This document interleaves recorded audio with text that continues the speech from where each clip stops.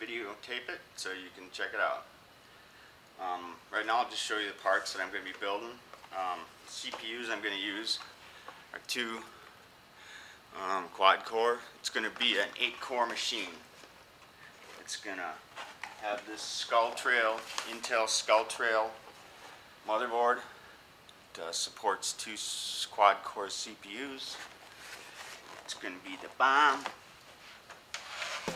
Case I'm going to use a, it's a sweet case. Check that out. It's a Coolmaster Cosmos and uh, cooling system I'm going to use is this one here. It's uh, water cooled. It's going to be on both the CPUs and the chipset. And what I'm not going to go into in this video is how I had to put this cooling system in it. I had to cut cut it out, fit it, this that. I had to take the thing completely apart. It was it was pain, but you know I could do it. So anyway, this this didn't come in the case. I put it there. So that I'm not going to show, but that's what I did. That. I'm going to have a, Blu-ray disc, Blu-ray uh, DVD-ROM, a regular DVD-ROM, and the card I'm to put the video card I'm to put in this is a um, NVIDIA Quadro. It's not for gaming. It's a total workstation card, although it would be you know adequate.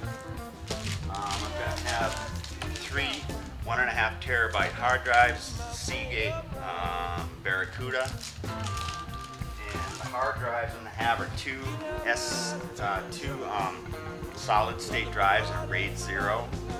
It's to be sweet, super fast.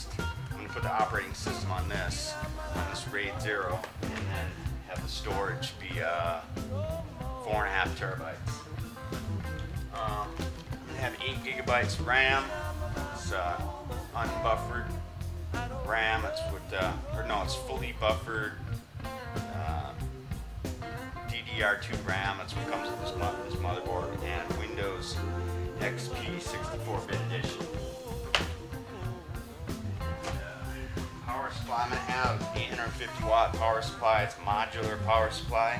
It's gonna be sweet. All right, so. Uh, guess let's get started. Uh-huh. Okay, so for right now, um, what I'm going to do is the motherboard um, that I'm going to use came with this back plate, which is specific to that motherboard.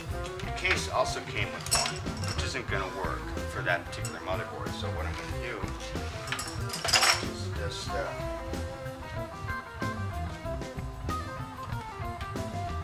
pop it out of there. It just snaps in there. Take this one out and put this one in.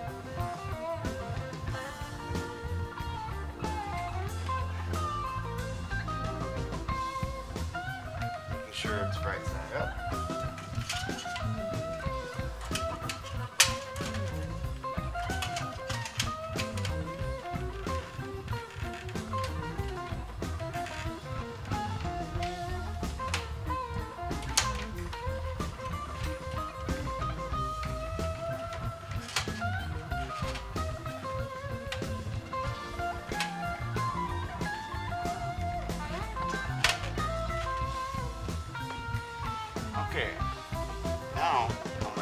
uh, the motherboard um, sets on these standoff, these little standoff screws. They're brass screws. These I have to screw into the case so I can put the motherboard on there. And the motherboard came with this convenient little template that I lay down on the case because inside the case there's a whole bunch of different screws, screw holes. Well, which ones to use? Well, this template says which ones to use for this particular motherboard. So I just put that in there line it up. It shows me where the screws are, and where the screw holes. And so I just screw them in. And uh, in light of uh, the comments I've got on my other time I built a computer, um, you're supposed to use uh, what they call like a, a grounding wire that you attach to your wrist and then you clip to some ground so you don't shock any parts. I'm a, risk taker, so I'm not going to use any of that. So you don't need to comment and tell me I'm not doing it right. And by the way, um, I'm not claiming that this is the right way, a good way, the best way, or even a correct way, but it is one way to do this. So that's the way I'm doing it now.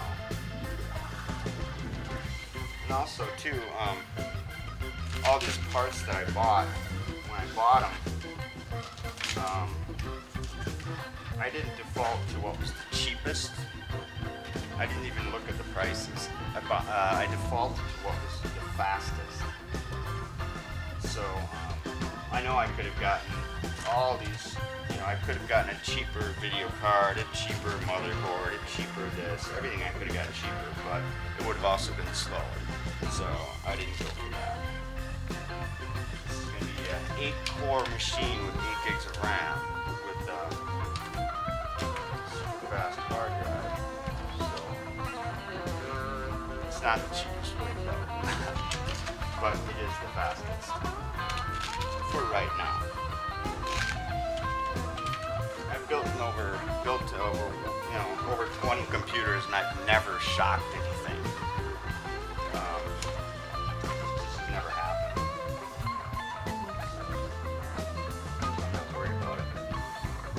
Besides, in Florida. 80% humidity.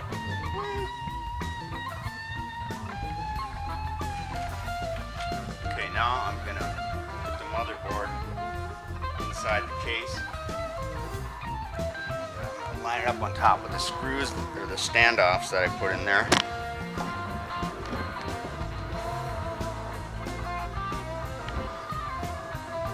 And, I'm gonna line this, these in and out deals to that back plate. To be really careful.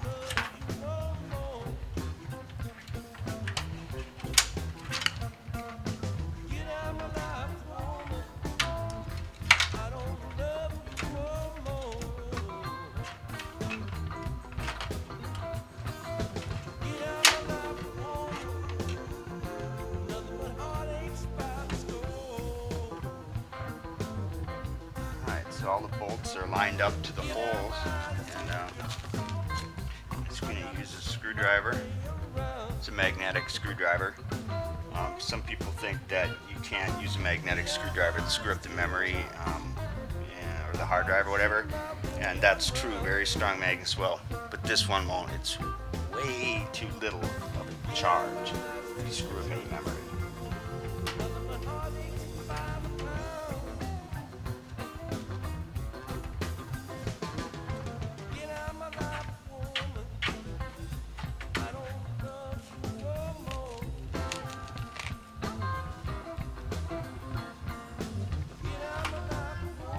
You screw them in, you want to screw them in as tight as you can get them.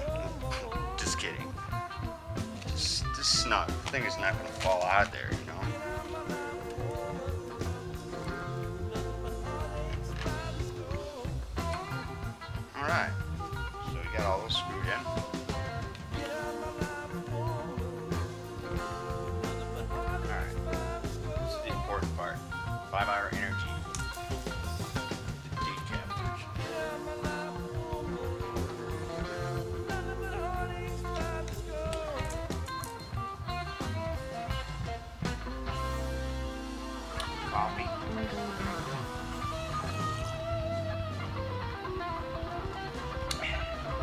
cigarettes.